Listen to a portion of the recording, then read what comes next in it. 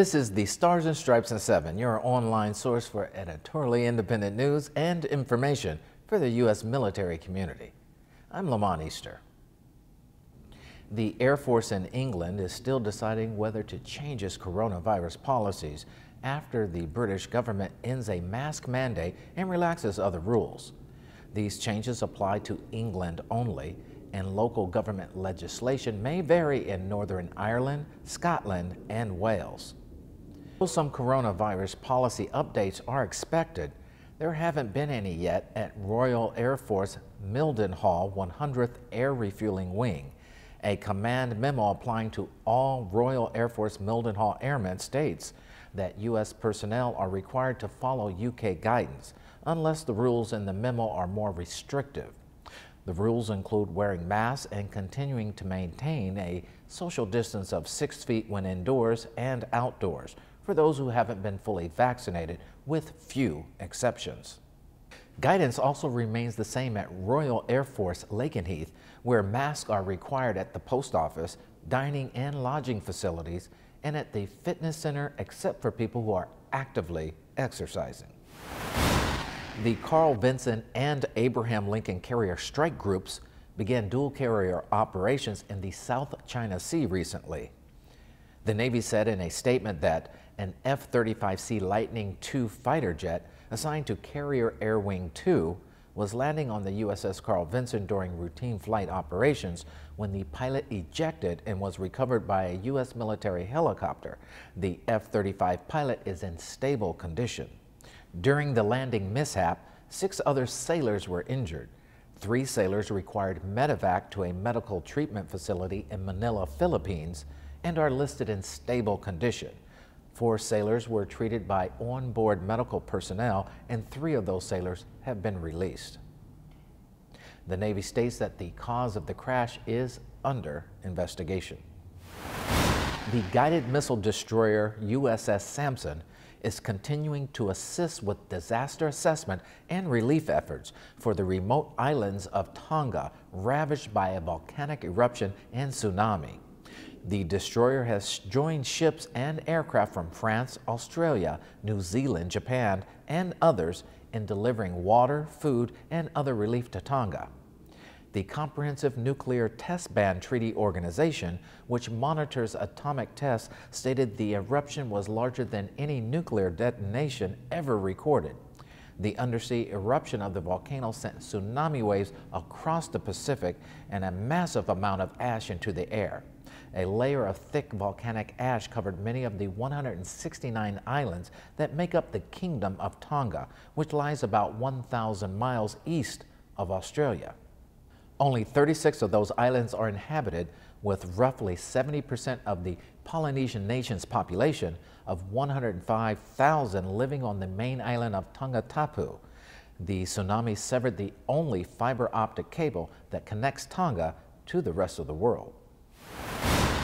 The U.S. Navy recently moved sailors aboard its newest base, a strategic installation in northern Poland that will support NATO's European missile defense system. The U.S. Sixth Fleet said in a statement that personnel completed their move from off base into a $50 million multi purpose residential building at Naval Support Facility Redzikowo.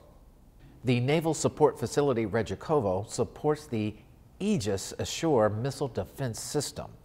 It integrates the systems of Navy destroyers based in Rota, Spain, and, the Aegis capabilities at Naval Support Facility Deveselu, Romania, the Navy said. The two-story multi-purpose facility was built by the Corps of Engineers and completed in June 2020. It includes a gym, barracks, a galley, medical facilities, a Navy exchange, and a recreation center. Rooms house up to four sailors and include dorm-style accommodations. Citing operational security, the Navy would not say how many personnel were assigned to the base or provide further details about the installation size or structure. U.S. personnel stationed in Germany and any others who received only the single Johnson & Johnson COVID-19 shot are no longer considered fully vaccinated under federal German rules. Only people with three shots will be considered boosted. Defense Department personnel who had the initial J&J shot also known as Janssen, won't be able to get a third shot on a U.S. base. Military personnel in Germany who received J&J shots may receive third shots off base, but it's unclear whether they would be blocked by their units or whether a third vaccination would be accepted by U.S. health agencies. Unvaccinated people in Germany in many states cannot visit non-essential retail stores, but can shop for food and go to the doctor, among other tasks deemed necessary. Those who are fully vaccinated but not boosted typically must show proof of a negative antigen test taken within 24 hours, or a PCR test no older than 48 hours for non-essential shopping or to visit venues like movie theaters. Special issuance passports will soon be the only option for Defense Department civilians and dependents boarding Patriot Express flights bound for Germany, Japan, and South Korea. A waiver allowing tourist passport holders to take the government contracted air service for a permanent change of station or PCS ends March 31st, according to an update last year to the DoD's Foreign Clearance Guide. After that, no fee official passports will be required. To obtain a waiver, an application for a no-fee passport must be submitted to the applicant's base passport office. The no-fee passport requirement is expected to cause a high volume of requests at base passport offices during peak permanent change of station season, May through August. Passport processing times will vary by location, according to the Marine Corps' Pentagon-based Security Programs and Information Management Branch. Applicants should allow six to eight weeks for their no-fee passport to be issued. Active duty personnel are still able to board flights without a passport and enter those countries with just their military ID and travel orders. And that is all for this edition of Stars and Stripes in 7. I'm Lamont Easter, helping you stay connected.